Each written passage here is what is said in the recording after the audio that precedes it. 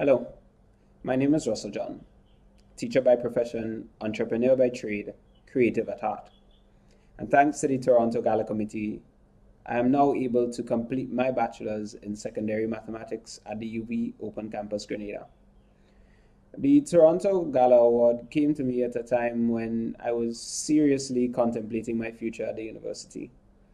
I was weighing my future against the financial demands of my family, namely my younger siblings, who themselves were entering community college.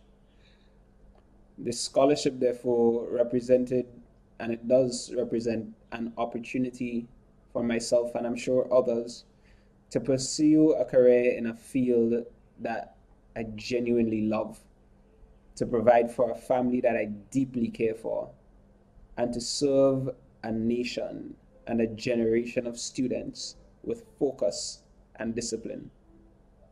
Words cannot express how much this scholarship means to me. Thank you.